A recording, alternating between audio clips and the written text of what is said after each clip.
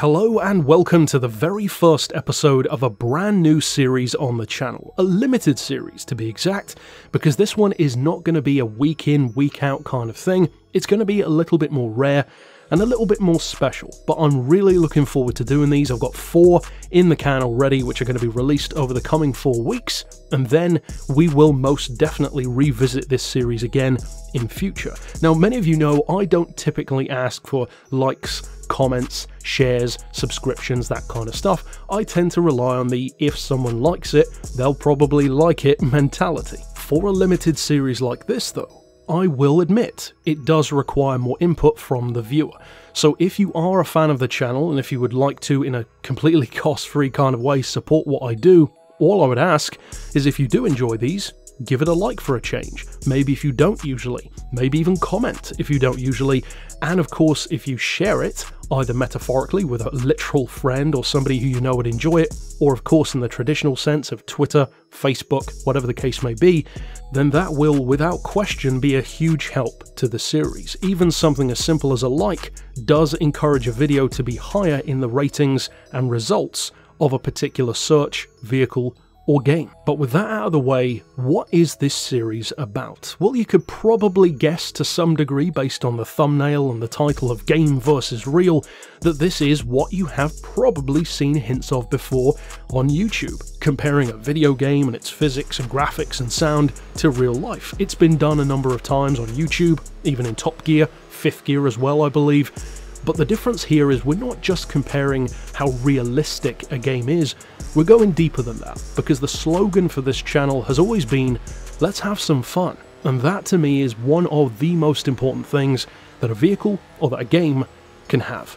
So although for sure the realism will be very important in this series, and in fact it's a couple of the criteria that we're going to be judging them on, the fun factor is as important as well, and instead of putting entire game series against each other like Forza and Gran Turismo, we're going to be much more specific and much more relatable, pitting one vehicle against one vehicle, that same vehicle. In fact, the real world versus that car in a particular game, and if possible, I would like to try and maybe change the game in each episode, and for the first four at least, that is the case because we're going to be featuring Forza Horizon 4, Forza Motorsport 4, Test Drive Unlimited 2, and even Ride 2. And that's just the first four episodes. And for this very first episode, we're setting the bar pretty high because we're comparing a game to one of my favourite real world cars and one of my favourite driving experiences actually, which was the BMW i8 Roadster. And we're putting it up against Forza Horizon 4 that particular vehicle, of course, within that game. Now you could say, if you're comparing realism, why not go for a Forza Motorsport game instead of Horizon, which is known for being more arcade? Well, for one thing, as I said, we're going to be looking at arcade games in the series anyway, like Test Drive or Project Gotham, so that doesn't matter too much. What does matter though is that the car is in the game, and that's a big difference between Horizon 4 and Motorsport 7, which does not have the Roadster. And to do this comparison, we're going to be not only looking between the two games, as you can see, and the graphics are phenomenal in Horizon 4, especially when it comes to this vehicle. There are some that maybe don't hold up as well, but there are some which look incredible. But we're actually going to be using three specific criteria. The first is accuracy, the second is realism, and the third and final is the fun factor. Now you're probably thinking, well, wait a second, accuracy and realism, they sound fairly similar, so what's the difference? Well, put simply, the accuracy is the straight line spec, if you will, the on paper numbers. Weight, power, even 0 to 60 or top speed, how accurate is the game to real life?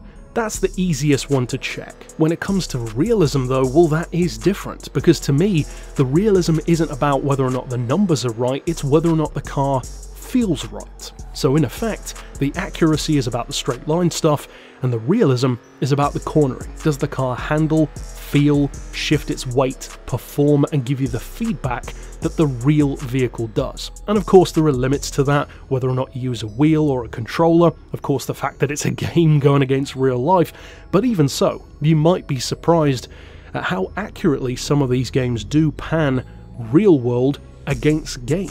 which for some of our younger viewers, for instance, is nice to know because chances are you haven't driven some of these vehicles yet, so knowing that it actually does or potentially could feel like it does in a game is nice to know. But of course, the final of the three was the fun factor, and the fun factor is essentially a mixture of the previous two put together.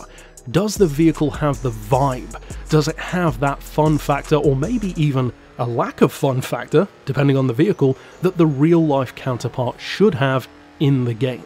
Is it authentic? or at least as authentic as a bunch of arranged polygons can realistically be. So what then first of all about that accuracy? How accurate is the in-game i8 compared to real life? Well, perhaps surprisingly for something as simple as numbers, it's not great, and that might surprise and perhaps even disappoint you. It certainly surprised me in some ways, there are plenty of games that get numbers wrong, but there's a difference between getting a number wrong and getting quite a few of them wrong, and this game unfortunately does, because I'm going to give it a rating of 3 out of 5, which is certainly not bad, that's basically like a 50-50, but the reason why is because some things are good, for instance the graphics look fantastic, the proportions are superb, it really does give you the exact kind of look of walking around and being in an i8 Roadster, and that is one of the most important things. However, when it comes to other spec based stuff, it's not looking as good, but it's also the inconsistency which is a bit strange. For instance, the torque figure is spot on.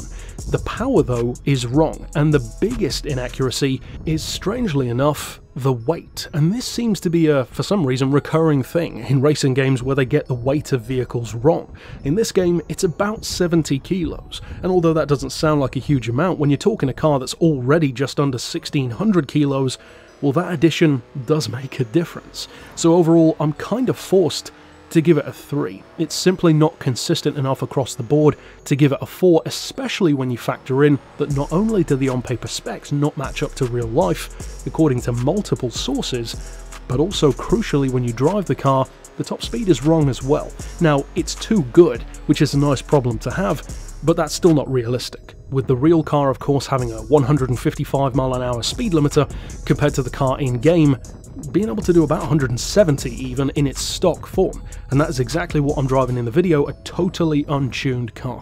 What then about the realism? About the handling? Does it feel right, even with the wrong power, the wrong weight, the wrong performance? Can the car still capture the realistic vibe of an i8?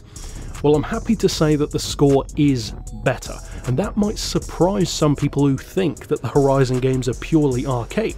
I'm giving it a 4 out of 5 because they do a good job of transmitting the kind of light on its feet, compact but bigger than it looks kind of vibe that the i8 has. At the same time though, it does have a couple of smaller issues which kind of bite away at that perfect 5 score. One of them is that the handling is actually too light over the back end. Even at normal speeds, if you drive the car at the same speeds that I'm doing in real life, well, it still feels too loose, too light, too floaty, and far too twitchy. The real life did not feel like that at all. It feels planted, it feels beefy, but in a very light on its feet kind of way, which is almost difficult to explain. It feels fast, grippy, and purposeful, almost like a fully electric car. In the game, though, it simply doesn't. It feels almost weird in terms of its handling. However, they do capture enough of that kind of lightweight, wants to play kind of vibe for me to still give it a 4. And that really does dovetail quite nicely into the final of the three, which is the fun factor. And once again, I'm giving it another 4 out of 5 because even though the twitchy steering and the light back end, coupled with the fact that it has a little bit too much grip going to the front, because for those who don't know, the BMW i8 can run as a front wheel drive, all wheel drive, or rear wheel drive vehicle, so having a front wheel drive kind of vibe is not technically wrong. However, in the game it's wrong because it does it at every low speed corner, and that is simply not what the car feels like in real life. It only does that when you're running fully on electric power. And the whole point of the car is that you don't run on electric power when you're pushing the car hard. And the car knows that. So in the game, it shouldn't feel like that through any corner at all. With that being said, though, I will say that they still do more than enough of a good job of transferring the kind of fun vibe that the i8 has, with certainly different steering, but not exactly accurate steering to how it should feel.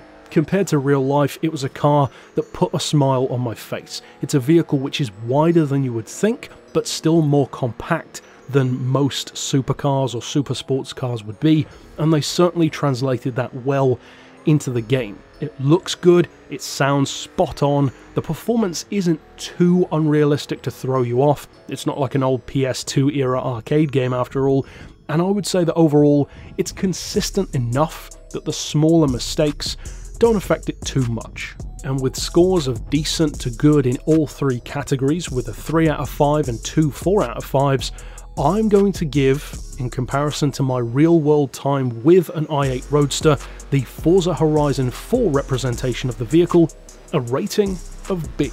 And to me, that's pretty impressive, considering the price difference between an Xbox and a BMW, that's pretty good for the fun factor. Overall then, if you do enjoy driving the car in the game, you can rest assured knowing that it feels accurate enough to real life to have a lot of fun with, but bear in mind a couple of those smaller things that I mentioned, most notably the weight difference, and of course the fact that primarily the handling is a little bit too twitchy in comparison to real life. Overall though, I think they did a very good job, and the look and sound alone is very, very impressive, to the point where it almost looks like two real vehicles in the thumbnail of the video.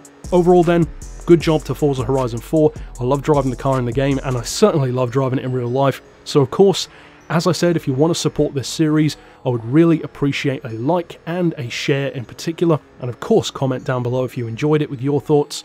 But until next time, I'll see you then. And if you're curious for a sneak peek at next week's episode, well, spoiler alert, we're going to Test Drive Unlimited 2 to feature my first car. But overall, that's it for this first installment. I hope you guys enjoyed this episode, and I hope you enjoy the series overall. And until next time, I'll see you then. But for now, as always, thanks for watching.